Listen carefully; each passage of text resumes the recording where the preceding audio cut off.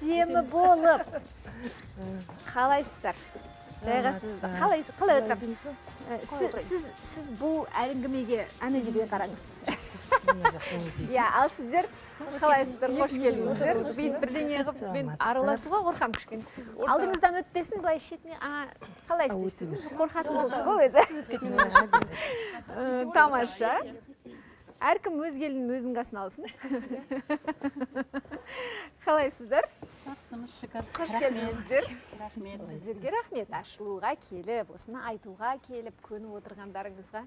Жаңа ә, талқылап жатсақ танысып жатсақ та осыдан он жыл бұрын ұлттық арнада әйел бақыты деген жоба бар еді. Сол жерде бір продюсер болып жұмыс істегенім бар еді. Ә, сол, сол кезде бар екен. Сол кезде эфирге шыққан екенсіздер. А, жақсы. Кім бастайды? Айзат апайымыз бастай ма ә, сонымен сіздің пікіріңіз жаңа айтқанымдай иә? Демократиялық. Біздің пікіріміз қазіргі заманда ене мен келіннің ортасында қазір жиырмасыншы ғасыр ғой.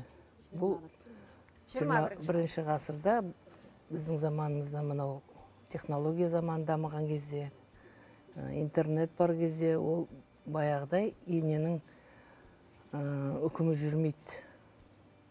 Мысалы келінге үкім деген жүру керек па негізі негізі үкім үкім енеге тиісті нәрсе ма үкім үкім үкім деген үкім баяғыда болған ғой енді баяғы заманда біздің заманымызда үкім болған енеміздің сөзін бұл екі етпейтінбіз айтты болды ол заң енеміздің сөзі иә ал қазіргі заманда барлығының көзі ашық оқыған ене де оқыған келін де оқыған бір біріне қазір келіндер енеге көп ақыл айтады көп біл- білгендері көп бұл кісілердің осы заманға сай. Заманға сай. Тыңдай білу керек дейсіз иә ғой. білгендері б- білгені көп та осы заманға сай. Ал біз енді ол ондай нәрсені көрмедік қой уақытымызда. Ондай білімді білмедік біз. Сол үшін бір біріне деген түсінбеушілікке қарау керек. Түсінушілікпен ол қарау да керек та. үлкен адам ол да білет Иә. бірдеңе оны да тыңдайық деп па? Иә ол да ана ғой енді ол да өзінің балдарын қалай тәрбиелейді білмесе. Өзінің балдарын қыздарын ұл қыздарын тәрбиелеу керек. Ол бізден бізге қарағанда көп біледі. Көп нәрсені білу керек ма? иә. Келіндер қазір көп біледі. Айдана ғой есіміңіз келіндерге. Қалай жолыңыз болған иә мен бақыттымын. Мен әзілдеп отырмын. А, қалай бұндай мәмілеге келдіңіздер? Қай кезде келдіңіздер? Біз бірінші күннен ақ келгенбіз. Бірінші былай отырған келісімшарт түсіністік диалогы болды ма? Арада? жоқ ондай болған жоқ. Әлде үндемей бірден түсініп алдыңыздар бірден иә үндемей бірден түсіндік қалай ондай ол? Мүмкін емес? мүмкін. Қаншада ол болдыңыз жасыңыз күйеуге он шыққанда сегіз жарымда. А? Он сегіз жарымда иә сіз қаншада едіңіз алғаш ене болғанда? Мен қанша дедім? Елу сегіз. Сізде бірінші рет ене болып Елу тұрсыз. Жеті, ол да оңай емес. елу бесте мен. Елу бесте дедім. жап жас. Екеуіңіз де елу қыршын бесте дедім. А? Негізі ә, өзі көп түсінісулер үнсіз болсын қимыл әрекетпен болсын бірінші айда болады ғой иә? Иә. Ас үйдегі істеген тамаққа айтқан қараған көзқарастан құйған кездегі бүйтші сөйтші содан өзі түсінеді а былай жақсы көреді екен былай екен бұл жердегі ережелер осылай екен дейді да ешкім негізі отырып түсініспейді. Негізі айтып түсіндіру керек па қалай ойлайсыздар? Қазір біз келеміз сіздерге. Айтатын жерде айту керек білмеген жерін айту керек. Мысалы мына жерің дұрыс емес осылай істесең дұрыс болады дегендей. Бұл кісі тез оны түсіне қояды. Келін ал енді ол демек айтқан екенсіз ғой.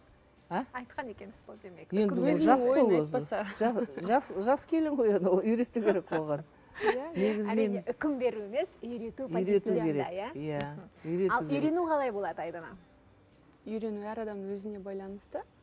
Себебі әр адам әртүрлі қабылдайды ғой. Ә, егер сен ол отбасыға сіңемін осы отбасыны қабылдаймын деп келген болсаң ниетпен ә, сен оның сөзінде барыны бақылайсың ғой бірінші келген кезде. Олар сені қалай қабылдап жатыр иә? Егер ол саған жылы жүзбен қарап тұрса сен қалай оларға керісінше іс әрекет жасайсың? Қайта олардың жылы жүздеріне қарап сен де өз соған қарай ыңғайланып а, олардың айтқандарын тыңдап өзіңнің ойыңды пікіріңді қосып бір ортақ мәмілеге келу арқылы іс әрекеттер жасалынады. Бізде солай болды мысалы отбасымызда. Түркістандық отбасы үшін кішкене басқаша көрініс. Түркістан Шым- шымкент а, шымкент иә, Иә, Иә. Сіздер шымкент жақтан екеуміз де иә. екеуміз де бір, бір ауылда тұрғанбыз қыздары иә. қыздары Иә. дей берейін иә. Иә бізге келді бір рет оңтүстіктен шымкенттен енесі мен келіні. Грим бөлмесінен бастап мына жерге келгенге дейінгі а байғұс келін аузын ашуға рұқсат бүйтіп көзімен сұрап отырды. Мен енді расы сол осы жерде көріп отырасың кімнің қалай екенін теледидар бәлкім көрсетпейтін шығар бірақ кім қандай энергиямен отыр кім қалай отыр бәрін түсініп отырасың мына жерде енді көп жылдар бойы бір бірін жақсы түсініп алған әйелдер отыр. Жақсы өте әдемі мен ризамын. Айналып келгенде бір адам жақсы көресіздер өзі. Иә. Бір бір фамилия дейді ғой бір тектің балаларын өсіріп жатсыздар бірге. Әркімнің функционалы әртүрлі шығар. Сіздерде қалай? Сіздердегі ереже гүлсім апа кішкене басқаша иә? Үкім бар орындау бар заң шығарушы орган бар. Иә мына жаңа апайдың айтқанына мен жалпы ол демократтық көзқарасқа кішкене қарсылаумын негізінде. Қарсысыз? Иә. Себебі жалпы ол жас бала сондықтан да отбасының негізгі ұйытқысы әйел адам болғандықтан ене бұл жерде қате айтпайды. Ененің пікірі кәдімгідей мен тіпті жас келген келінге заң десем де болады. Менде өзімде сондай тәртіп қалыптасты. Яғни бұл келінім он тоғыз жасында келіп түсті. Әлі ештемені білмейді. Әлі жас бала енді оған қалай мен айтпасам бірақ енді менде жалпы мен өзім торғайлық боламын. Сондықтан да менде бұрында таңертпай тұрғызып алып мынандай уақытта тұрасың деген шектеулер жоқ. Бірақ осындай шектеулерді жасауға хақымыз бар ма біздің? Жоқ ондай олай деп ойламаймын мен. Олай деп ойламаймын. Бірақ дегенмен де мен өз көзқарасымды айтып енді білмеймін арамызда сондай түсіністік өзінен өзі қалыптасты. Мен айтқан кезде бұл қарсы шығып жатса мүмкін басқаша жағдай болатын шығар. Бірақ бізде ондай болған жоқ қарсылық. Енді бәріміз де келін болдық. Неше түрлі келіндердің посттарын жаңағы әлеуметтік желідегі публикацияларын көріп отырмыз. Кеше біреуін көріп қалдым. Бір келін тұр. Бүйтіп жазып қойыпты. Кеше таң, таңғы жетіде тұрып шай ішкен сияқты еді. Бүгін жетіде тұрсам шал екеуі алты жарымнан бастап шай ішіп отыр екен. Енді қашан содан нешеде тұруым керек деп. па? Расы сол енелер сенен бұрын ас үйге барып алады. Да білмеймін ештеңе істемесе де әйтеуір ыдыс аяқ салдырып жатады содан оянасың. Жоқ мен ереже айтпаймын мен оған тимеймін. Жаным ау ұйықтасаң ұйықта жұмыстан келдің шаршадың ғой дейді да. Бірақ тасыр тұсыр жатады тұрасың да барасың ғой енді не істейсің? Енді әрине. Бұл үнсіз үкім орнату. Жоқ сіздерде қалай? ондай ондай үкім жоқ. Кім бірінші тұрады үйде? Енді мен бірінші тұрамын жалпы нешеде тұрасыз? Біз енді қазір қазіргі таңда біз бөлек тұрып жатырмыз. Жолдасыммен екеуміз. Онда не айтып тұрсыздар? Басқа жоқ негізінде екі жыл бірге тұрдық.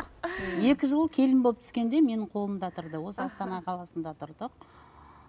Әрине ол кезде менің жұмысым ерте басталатын сондықтан да мен ерте тұрамын. бірақ мен келінім сәндіге маған тұрып шай қойып бер деген талап қойған жоқпын. Өзім тұрып ерте ішіп жұмысқа кете беремін ертерек. Бұлар өзіне естисіз ба кетіп бара жатқанын? Кейде естимін кейде естімеймін ұйықтай бересіз. Ұйықтай береді. өйткені мен ондай талап қойған жоқпын. бізде еркін ол жағынан ол жағынан еркін. Ал былай үйдегі бюджет мәселесіне келгенде салт дәстүр қонақ шақыру деген сияқты қазіргі жастардың көбінде қонақ шақыруға деген қарсылық басым. Яғни ол бір артық іс әрекет сияқты көрінеді. Қазір жалпы жастарды мен бақылаймын қоғамда. Ал бізде енді енелерде біздің қазақи дәстүр бар жаңағы әртүрлі қонақ шақырыс дегендер көп. Сондықтан да ол кезде мысалы білмеймін маған қарсы болып көрген жоқ. Мен айтамын міне осындай кісіні шақыру керек деймін. Шақырамыз. Иә бұл енді дәстүр отбасылық иә қонақ шақыруға тиіспейміз. Иә негізі оған қарсы болатын да келіндер бар. Иә не деп не деп енді бар ондай әртүрлі отбасы. жерге бір жиырма екі жиырма үш немесе жиырма бес жасында келін болып түскен тағы бір отбасы жетпей тұр. Иә өйткені бір ғана ракурс қарап тұрсаңыз. Екі қыз да өте жас келін болып түскен. Жалпы адам баласы 25-ке дейін психикалық қатаю процесін өтеді. Әлі тұрақсыз. 18 жастағы қыз тұрақсыз. Сондықтан апаларымыз келіндерін өздері тәрбиелеп алған. Мен отырмын мына жерде отызымда келе шыққан өздері тәрбиелеп алған ұнайды иә. Егер мүмкін жасы келіп шыққан қыз болса алып келмедіңіз ба? Мен айтайын. құлға да бір сөз. былай ғой қонаққа қонақ шақыруға қарсылық деген қыңырлықтан емес деп ойлаймын. Жалпы құрметті адамдар әдейі осы адамдар деп айтып отырмын. Бәріміз жаратушының алдында бірдейміз. Ешкім қыңырлықтан істемейді ештеңені бір нәрсені түсіну керек бәрімізге. Егер мен осы жерде отырып ә, жаңаға жүр, жаңағы біздің шығармашылық топқа жарнамаға кезек берейікші десем демек мен қыңырланып жатқан жоқпын демек солай керек болып тұр мен жөтеліп қалайын деп бірдеңе болайын деп тұр. Қажеттілік. Және ол жақтан маған түсіністікпен иә мынаған жағдай қиын болып бара жатыр екен мына байғұсқа көмектесіп жіберейік деп жарнама беру керек міне енелерде де егер қонақ шақыруға қарсы болып жатса демек оған ыңғайсыз сол күні күтуге. Сосын оған ыңғайлы мәмілеге келу деген сол шығар. Мүмкін болады мысалы сен жұмыстан иә. келесің кешкі алтыда а жетіде қонақ келеді. Сен бір сағатта не істеп үлгересің ба үйіңді жинайсың ба тамағыңды істейсің ба жаңағы бәрін жайып қоясың ба? Ал егер тапсырыспен алсаң тағы да сен ештеңе істей алмайтын адамсың. Сондай болмас үшін сенбіге жаңағы келісім арқылы бұл жерде келісім арқылы біз ойбай жаман деп бірден келінді жаман қылып тастауға ойбай жаман деп бірден енені жамандап тастауға асықпыз ғой. Шын мәнінде бәрі де қажеттіліктен жасайды ғой. Сонымен сіздер сіздер ерте тұра бересіз өзіңіз шайыңызды ішіп кете бересіз иә. керемет. Иә. а бюджетті бәріңіз бірге енеге бересіз жалпы иә мен негізінде өзім басқарамын. Балаларыма да жұмыс істеймін. Жұмыс істедім декреттемін қазір? Бірақ айлықты әкеп түгелімен тиынына дейін мен ондай ондай айтып жатқан жоқпын. Мен келінімнің жалпы ақшасында балаларымның ақшасында шаруам жоқ. Бірақ енді бюджет деп айтып отырған себебім мысалы отбасында жаңағындай бір белгілі бір іс шараға тағы бірдемеге ақша керек болса мінекей балалар сендер осыны сендер алыңдар. Яғни біз мінекей осындай деген сияқты ә, сондай келісімге келеміз. Ә, бұл жағынан да бірақ маған енді қарсылық болған жоқ. Ә, тағы да бір басқа мәселелерде мысалы енді отбасы болғаннан кейін әртүрлі мәселелер болады ғой. Сол кезде жалпы менің позициям көбірек сіз генералсыз. Иә солай десек те болады барын барда айтсаңызшы иә солай айтсам бірақ енді мен генералмын деп. ата қайда атамыз қайда ата қайда ол кісі қазір үйде қазір көріп отқан шығар осы хабарды бірақ енді мен істетеді ғой деп иә сәнді мен енді айтқанымыз еткенде бірақ енді мен бір айтады ғой жаңағы айтқан істетіп осыны бүйтіп ашсам алақанымды жұмсам жұдырығымда ұстап отқан жоқпын. Бұл баланың өзінің қазір біз бөлек тұрамыз.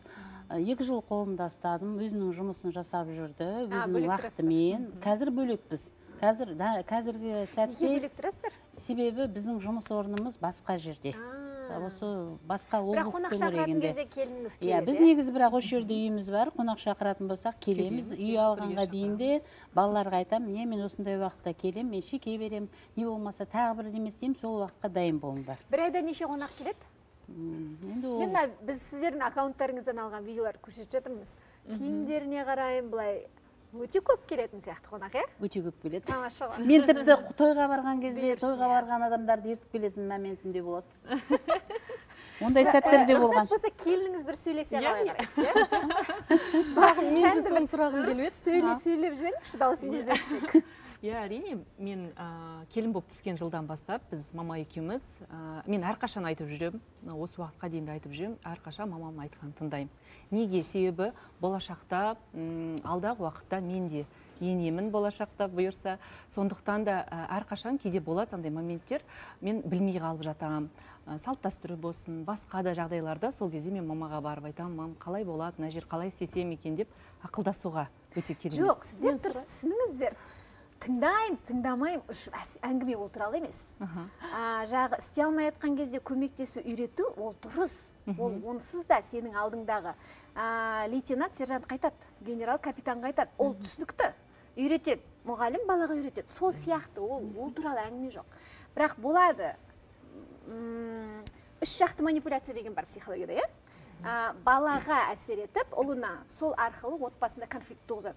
Өтірік емес бар ондай. Бар бар бар. Жоқ демей ақ қояйық қазір ойбай деп керемет бізде жоқ бар ол. Соның кесірінен талайы қырқысып үйленіп ажырасып кетіп жатыр. Иә? Ақшаны мен ұстаймын? Ананы мысалы жұп ойлап отырады біз көлік алуға немесе үй алуға ақша жинап жатады.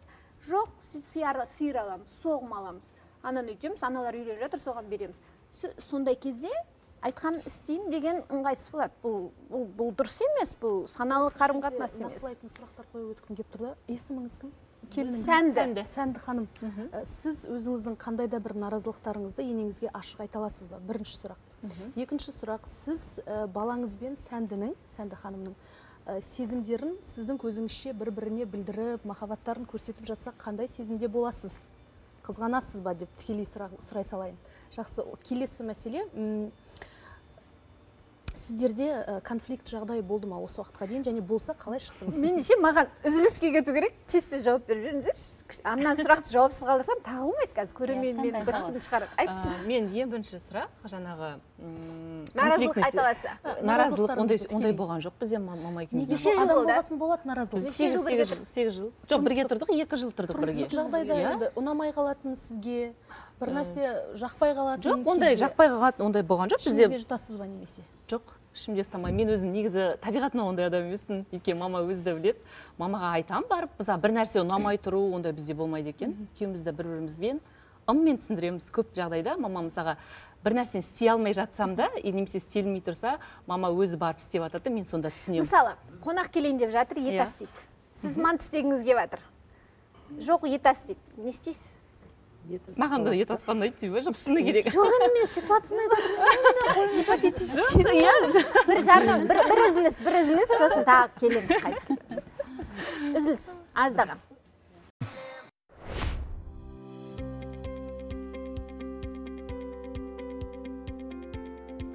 Иә достар орнымыздан тұрған жоқпыз аузымыз жабылған жоқ үзілістің кезінде. Біраз талқылап тастадық. Ене мен келін және олардың татулығы деген тақырыпты талқылап жатырмыз. Ә, детальдар ә, аталып өтіліп жатыр. Психолог тарапынан өте әдемі сұрақтар қойылды. Біздің ватсапқа толассыз пікірлер келіп жатыр. Пікірлерді режиссеріміз экранға беріп қойса да болады. Себебі халықтың пікірі бұл жерде өте маңызды. Бұл халық үшін жасалып жатқан жоба ғой сонымен сұрағыңызды бір қайталап өтсеңіз. Бірінші сұрақ болды. Иә араларыңызда конфликттік жағдай болды ма? Және болса қалай шықтыңыздар? Сегіз жылда бір рет өтіп болмапты. Иә болған жоқ. Болған жоқ. Тамаша.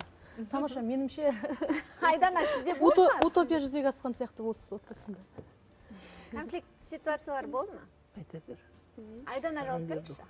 Енеңізден рұқсат сұрамай жауап беріңізші. Сөйлейсіз ба деп ғой. Иә жалпы барлық отбасында ыдыс сықырлайды деген мақал бар ғой барлық отбасыда ыдыс аяқ сықырлап тұрады деген. Енді ол кезде әрине болады. Әркім өз ойын сол кезде айтып жаңағы адамның ішіндегі жанайқайын да ести білу керек та. Мысалы біздің мамамыз бірінші келген күннен ішіндегін жасырмай айт дейді. Мен де өзімнің ойымды айта аламын мамама. Барып еркелеп айтамын барып сыпайы түрде айтамын мама да өзінің ойын қорыта келе өзінің ойын одан кейін маған барып қосады. Сол кезде біз ортақ бір мәмілеге келеміз бізде ондай жоқ іштен түйіп қалып сен ішіңде айтпа маған ондай нәрсенің жоқ деген бізде ондай жоқ бізде бәрін айтып өзіміздің отбасымыздың арасында тек қана осы біздің өзімнің үйдегі отбасым үйреткендей өзіңнің шаңырағынан сыртқа әңгімеңді шығарма. Бізде сол политика. Сұрайын. Қандай ә, ситуацияны еркелеп айтып жеткіздіңіз мысалы? Не болды мысалы? Мысалы сіз жаңа айтып жатсыз ғой бір жерге қонаққа шақыру деген сияқты. Ол барлық жерде болады мамаларымыздың да папаларымыз да достарын алып келетін иә үйге шақырамыз деп тойлаймыз деген кезде. Мысалы сен басқа жаққа бара жатсың мысалы иә? Сен бару керексің сол жаққа. Кей кезде мен бәрін дайындап кетіп бір сағат кезінде иә бір сағат отырып екі сағат отырып баратын жеріме мама айтады бәрін жайғастырып кеттің бәрі жақсы бастаманы бастап бердің барып кел деп жіберетін кездер де болады. Ол біздің маманың даналығы деп қабылдаймын мен. Аха тағы қандай ситуациялар болады? Конфликт жағдай айтқан жоқ сұрақтан қашып жатыр бұл кісілер. Сұраққа нақты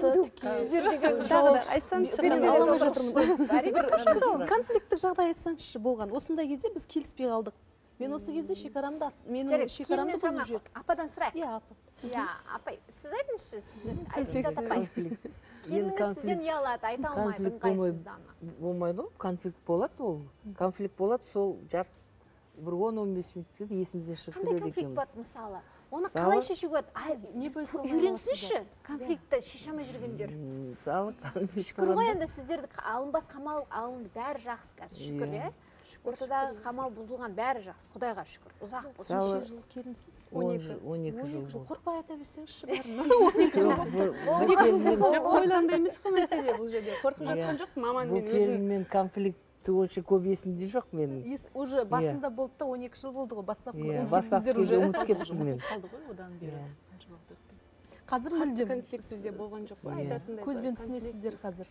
Иә. Бәрін конфликт болғанда келіспеушілік жағдайлар өте жиі болады ғой. Мысалы бөлек шығу қалай болды? Бөлек шығу бөлек туралы тұрасыздар, мәселе? Иә бөлек шығу мәселесі бұл жеті жыл бірге тұрдыңыз. Сізде сізде Жеті үйреніп қалдыңыз. Иә. бәрібір іште қимастық болады. Жібергісі келмейді иә кеткісі келмеді сол кез қалай талқыланды? Шығатын кезде жыладым мен неге жыладыңыз келмеді бұл. Шыққым келмеді мамам мен жақсы бірақ кет деп сіз айттыңыз иә иә енді шығу керек болды ғой. неге мен шығардыңыз екінші ұлымды үйлендіруім керек. Кенже баламыз үйленді кенже баламыз үйленді содан кейін енді бәріміз сыймаймыз ғой. бұның уже үш баласы бар төрт баласы бар. Ана баланы үйлендіру керек өзіміз үйіміз үш бөлмелі үй. Сіз сосын баланы қалдыратын бұларға адам бар айттым, мында айдана мен балам айттым енді сендер бөлек шығыңдар бұлар енді оны не ожидали? Күтпеді. Бірдестен екеуі де бүйтіп тұрып қалды. Неге? дегендей. А міне конфликт «Ә, неге? деді. Балам тұру вообще өзгеріп кетті. Айдана да бүйтіп екеуі де өмір. Иә бірге тұрамыз деп ойлаған ғой. Жоқпыз. Мен мен басында айтқанмын мен сендермен тұрамын ана үйлендірсем мынаны бөлек шығара саламын деп дайын ойлағанмын болмаған ғой енді Иә, дайын болмаған. Сосын- әзілдеп отырмын. екеуі де бүйтіп не қылып қалды жаңағыдегі маған жаман қарап қалды. Сосын сосын айттым бүйтіп енді біраз үнсіздік болып қалды енді үндемей қалды. Кейін айттым мен мына серікті үйлендірейін. Ол келінді енді біраз қолыма ұстайын саған ұқсап үйретейін. Саған ұқсап көп нәрсені білмейді қолында ұстаймын. бастары Иә. піспей қалады екеуінің иә? Иә. екі абысының бірге тұрса. Сөйтіп оны үйретейін келін болуға деп. Сөйтіп айттым да өзім бұларды өзім шығардым. Үйдің қасынан бір бір бөлме снимать етіп екі айлық арендасын өзім төлеп біраз үйренсін деп қасымда тұрғыздым. Енді екеуі де бір арман болатын сондай. Неше ұлдарыңыз бар сіздердің қызық? Мен мен екі қыз екі ұлым бар. екі қыз екі сіздің менде екі ұл. Екі ұл. Сіз кіші ұлдың келіні иә? үлкен ұлым үлкен ұлым сосын екінші екінші келінім бар үйленемін дегенде сіз де шығардыңыз ба? Жоқ шығарған жоқпын. А. Шығарған жоқпын. Ол ы, екінші балам үйленгенде олар өздері а сіз жаңа айттыңыз кешіріңіз. Бірден басқа қалаға. Иә, олар біз басқа жаққа кеттік олар өздері бірден бөлек тұрды. А, негізінде сол бөлек тұрған кәдімгідей білінеді. Иә, иә, өйткені бөлек тұрған келін ол кәдімгідей менің ығыма жығылмайды. Жаңағыдай менің айтқанымды жаңағыдай бірден сәнді сияқты түсінбейді. А ә, бөлек тұратын иә соны айтамын. Ол қыздың аты кім Ә, оның енді тіпті ұлты да басқа оля. А олечка. Иә. Енді сұрап жүрейінші ығына жығылу дегенде қалай түсінесіз? Енді ығына жығылу дегенде менің бір қатып қалған менің айтқанымды былай орында деген емес. Бірақ енді жастай келгеннен кейін бір жағынан сыйлағандық қой.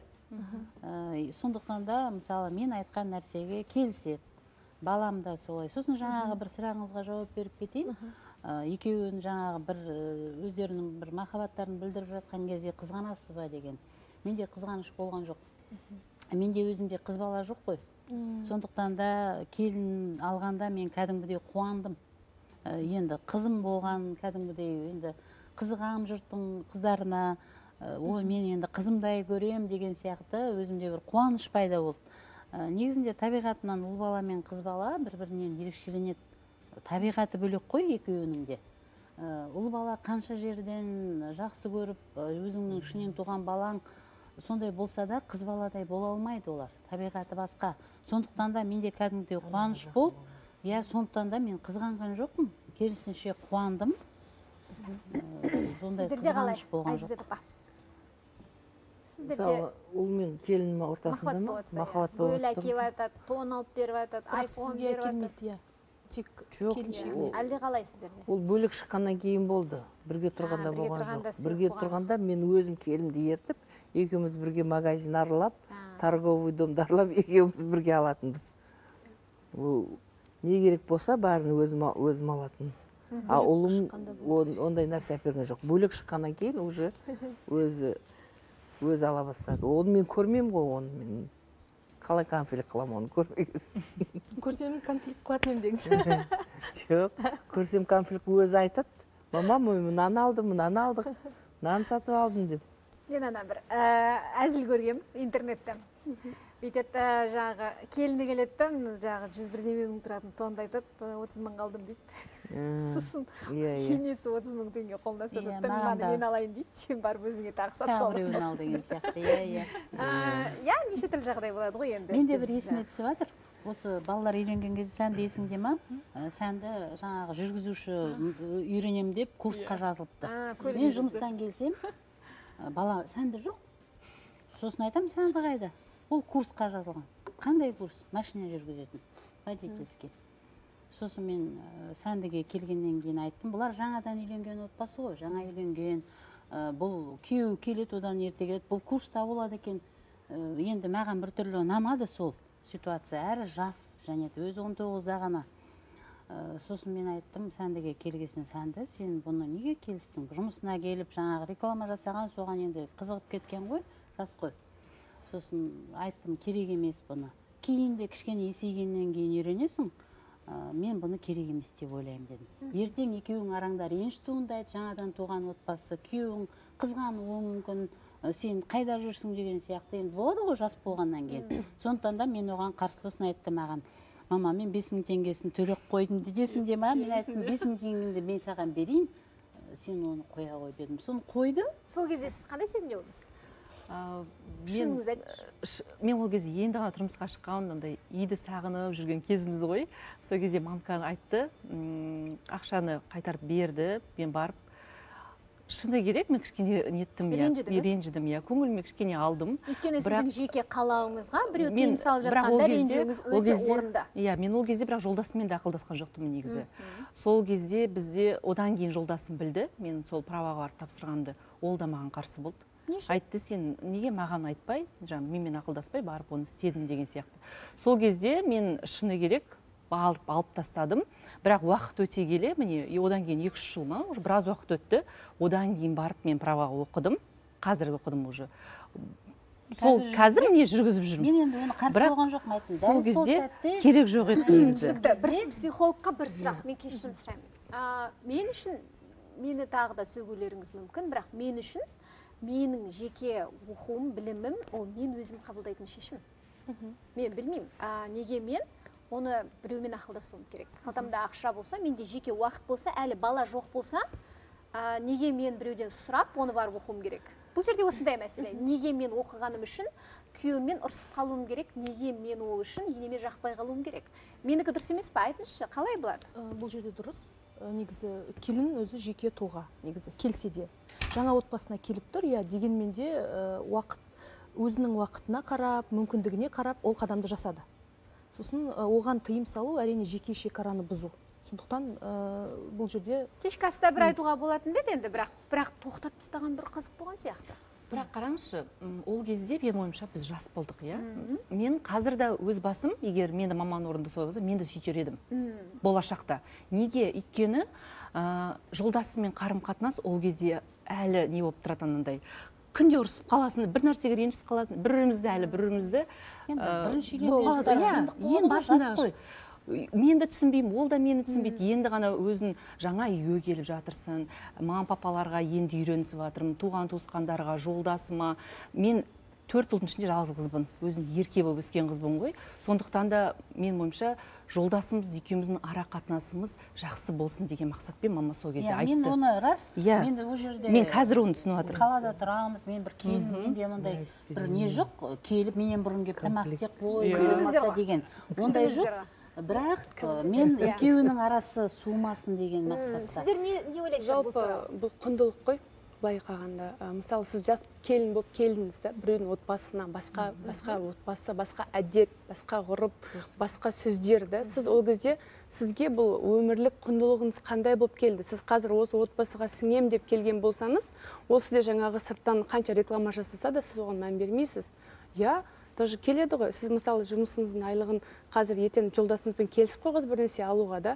Үйге қонақ шақырамын десе де соған қосамын деп айтып қойған ақшаңыз бар да.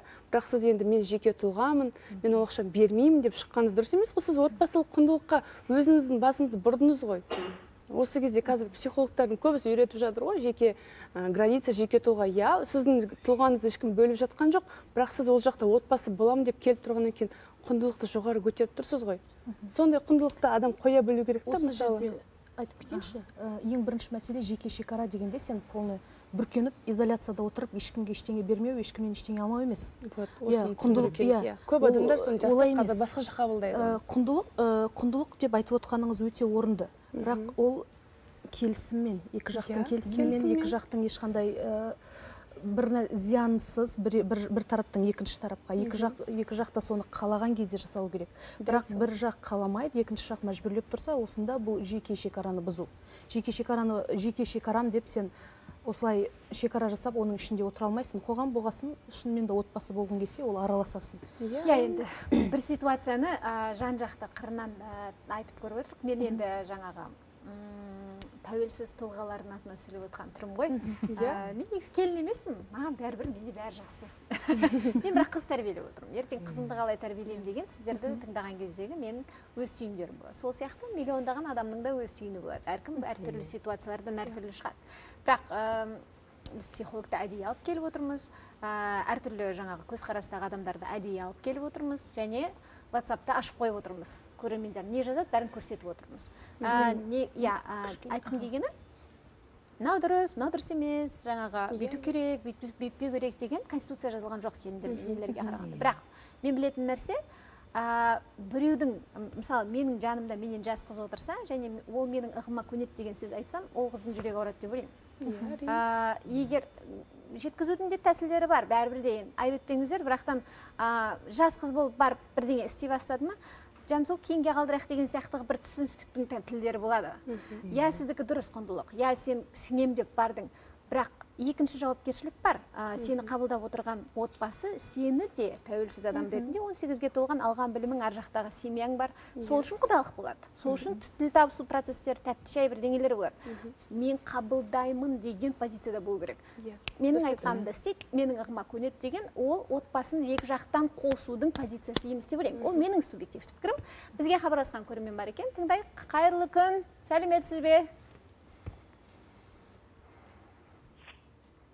Алло деп жіберіңізші құрметті көрермен. Сәлеметсіз бе? Алло саламатсыз ба ау айта қойыңыз. Алло. Иә иә иә эфирдесіз айта беріңіз иә. Аха менің сұрағым мына психологқа естіліп жатыр ма? Иә естіп отырмыз айта қойыңыз бәріміз сізді тыңдап отырмыз. мен психологқа сұрақ қояйын деп едім. Мен өзім келін болып түскеніме мысалы қазір он жыл болды. Иә. Бірақ мен бес алты жылға дейін енеммен жақын сөйлесе алмадым да. Даже жеті сегіз жыл болған жеті жылға дейін ба бес алты жылға дейін мхм бұның себебі келінге байланысты ма жоқ енеме байланысты ма мен сияқты қаншама келіндер бар мысалы қиналып бес алты жыл деген аз емес иә кімге байланысты бұл жерде ол екеуміздің жақын сөйлеспеген бір толықтыру сұрақ қойып жіберейінші сізге мен сізден сұрап жіберейін қазір жақсымын бірақ осы қазір жақсы болуыңызға не әсер етті? Бірінші қадамды сіз жасадыңыз ба әлде ене жасады ма мен көп адамдармен сөйлестім. Ақыл сұрадым осындай адамдардан. Сосын? Бірінші қадамды сіз жасадыңыз ба әлде айтуы бойынша сен ішіңдегіні жасырмай айта бер айта бер деп үйретті маған. Жасағанда мен мысалы бірдеңе алсам көрсетемін солай үйрендім. Ал ол кісі мықты тұйық болды. Бірдеңе алып келсе де бір жерге кетіп бара жатса да айтпайтын болды да енді қазір жақсымыз бірақ сол кезде кімнен ол виноват кім ол жерде? Енем ба жоқ мен ба? Бес алты жыл деген ұзақ уақыт қой мысалы? Психологтан жауап келеді да. Рахмет. жерде біз негізі ене мен келін ене мен келін деп қана айтамыз. Үшінші жақты ұмытып кетеміз. Күйеу бар бізде жолдас. Иә енеге ұл әйелге өмірлік серік. Бұл жерде осы ер адамның да қателігін ескеру керек. Ә, ер адам екі жақтың көңілін бірдей табу керек егер бірге тұрса. Бөлек тұрса жақсы. Екі жақтың көңілін бірдей табу керек. Бір күні мына жаққа бір күні мына жаққа немесе екеуіне де қарамай кетуге болмайды. Негізінде дәлдеп келгенде ер адам ә, анасының көңілін әйелінікін тапқандай табуға міндетті емес. Өйткені оның анасының өзінің жолдасы бар. Внимание сол жақтан алу керек. Енді мына жерде кім кінәлі дейтін болсақ бұл жерде кінәліні іздеме ол өзінің кім кінәлі екенін сұрақты қоядан алдын сұрағына уже жауап беріп отыр менің енем тұйық болды деп. Өзі сол тұйықтықтан бата алмаған болар. Бұл жерде кінәлі емес тек екі жақтан қадам жасалмауы кінәлі. Адам емес иә екі жақтан бірдей қадам жасалмауы кінәлі. Енесі кішкене жұмсарып күліп қарамаған шығар сосын ол кісі батып сөйлей алмаған шығар. Сөйлесе алмау иә әрине әртүрлі конфликттар туғызады. Бірақ осы жерде үшінші жақ араласу керек еді. Жеті жыл әрине ұзақ уақыт. Әрине. Жолдасы араласу керек еді. Немесе атасы араласу керек еді. Үйде барлығы бірдей тұйық болуы мүмкін емес. Бір жақтың араласуымен бұл мәселені шешуге болушы еді. Иә мен көрерменімізге сол үнсіздікті кім үзді деп сұраған себебім сол еді ғой. Сол үнсіздікті бес алты жыл бұрын да үзуге болатын еді ғой деген бес алты жылда батылдық жиған болып тұр ғой өзі. Содан кейін барып айттым сосын үзілді дауысы дірілдеп кетті бір жағынан. Сірә ұзақ жылдар бойы жүрегін ауыртқан тақырып болса керек. Шын мәнінде иә біз әйелдер отырып алып талқылап отырмыз. Үнемі жігіттер өздерінің шешімдер істейді иә аталар да балалар да иә. Сіздерде қалай? Бізде де солай өздерің шешіңдер дей ма иә жағаласпаңдар жағаластырмаңдаршы дей ма әлде екеуіңізге бірдей сыйлық әкеліп беріп үндемей қалған кезде не болды үндемей отырсыздар деп комплимент айтып жіберіп қалай болады сіздерде ондай бола ма неше түрлі вайндар көреміз ғой қазір солардың мамасы айтатын барын мен сіздің сөзіңізден алдым есіме түсіп кетті мама бізде медсестра ғой медсестра болып мен тұрмысқа шығып келгенде жаста мен оқитын едім мен оқыдым осында оқып жүрген мен сабаққа барам келемін мама да арасында обедке келіп кетеді. Сол уақытында маған үлгеру керек болатын. Енді мен өзімнің тәрбием сондай да ата енеңе уақытылы шайын беріп қас қабағына қара деп үйреткен. Сондықтан мен үлгеруге тырысатын едім жүгіретін едім. Мамам кей кезде асығып кешке келеді ғой жұмыстан кей кезде көңіл күйі жоқ болып келеді. Осы кезде мен де жаңағы келін құсап ой көңіл күйі жоқ екен мен де сөйлемей ақ қояйын деп кетіп қалған жоқпын. Мен қайта маманың жағдайын сұрадым. Сізге не болды? Бәрі дұрыс па? яғни ол иә яғни ол әйелдің өзіне байланысты да. Ешқандай да ол мен күйеуім барып сөйлесін ол сенің мамаң ғой десем әрине ол кезде бізде қандай отбасы болады? Осы кезде адамдар өздерінің көңілдеріне ол көңіл күйі жоқ мен оған не қыламын сөйлеп деп айтатын қыздар да бар келіндер де бар да. Сондықтан ондай болмау үшін жаңағы келін өзінен бастау керек еді да. Өзің бастасаң саған қадам жасайды ғой. Осы кезде осы жерде қоса кетейінші сіздің табиғатыңыз осындай болып тұр да иә менің табиғатымда енеңізге табиғатына байланысты әр адам табиғатына байланысты. Сіздің табиғатыңыз осындай болып тұр. Менің случаимда менің табиғатым ондай болған жоқ. Вот сондай да сондай да ол табиғатқа байланысты. Егер сен оны қала олай жасай алмайсың жасай алмағансың жеті жылға созылған болып тұр. Иә өзіңнен аттау өте қиын. Сен ең бірінші адамның психикасында адамның тағы бір қорқатын заты бар ол отвержениедан қорқу отказ алудан қорқу. Сен одан бессознательность бейсанада қорқасың. Іште уже ол әйел ойлап қойған болып тұруы мүмкін. Қазір мен қадам жасаймын сосын маған жақсылап бір тойтарыс береді сосын мен мүлдем бата алмай қаламын деген қорқыныштан да ұзақ уақыт сөйлемей жүрген болуы мүмкін. Сондықтан сіздің табиғатыңызбен иә әрине өте тамаша. Бірақ көп барлығының табиғаты ондай емес. Иә көңіл күйі жоқ бата алмайды сөйлемейді сөйлегісі келмейді. Табиғатына байланысты дұрыс айтасыз. мінезіңіз барлық адам бірдей бола алмайды. Иә. Сондай тұйық келін де бар. Ол ол действительно иә. Ол мысалы сөйлемейді онша. Мына ұқсап жаңағыдай ашуланып келді. Мен мінезім тік негізі. Айтамын да бетіне сарт еткізіп. Ол сондай кезде өкпелеп қалады или менімен ұрысып қалады или теріс қарап қалады или сөйлеспей қалады. Ал бұл ондай емес. Бұл наоборот сұрайды не болды мама? На настроениеңіз жоқ? Десе мен уже жай неғылып қаламын ашуым кетіп жаңағыдей көңіл күйім жақсы болып кетеді. ол келініңізбен қалай тіл табысасыздар ол келінімізбен енді мынайдай мына ұқсап енді сырласа алмаймыз онша көп? Просто не істедің не қойдың істедім жоқ иә бар мындай мындай болды қысқа ғана. Бардым келдім мынаны бірақ шайым дайын барлық нәрсем жағдайым бәрін істеп қояды. Тамағым дайын үйім жинаулы төсегім дайын. Барлық нені істеп пысық жұмысына. Бірақ онша енді табиғат сондай ғой сөзге жоқ. Мына ұқсап жаңағы көңілім таба алмайды да онша. түсіндім. Мына жаққа бір қарап жүрсеңіздер сол үшін айзат апай әр адам әртүрлі айзат апай гүлсім апай айдана сәнді рахмет. Бұл ең үлкен құнды дүние шығып миллиондардың алдында. Ішкі жағдайыңды отбасыңда болғанды айтып беру. Шыны керек еш нәрсе бір ережеге сәйкес болуға тиісті емес. ешкім сен қалаған стереотипке сәйкес болу керек емес иә? Ешқандай келін сен армандағандай болып келмейді және ешқандай ене сенің шешең сияқты болып айдай болып тұрмайды. Ә, біз бұл тақырыпты талқылаудағы мақсатымыз психологпен бірге гүлнұр ханым сізге рахмет. Ә, жай ғана қараңыздар ешкіммен сіз емес олар жай ғана өздерінің проблемаларын өз тәсілдерімен шешкен. Неге біз тәжірибелі келіндерді шақырдық? Өткен аптада бізде ә, бір жарым жыл ғана бірге тұрған келін келді. Ол да күлгін әлем әлі.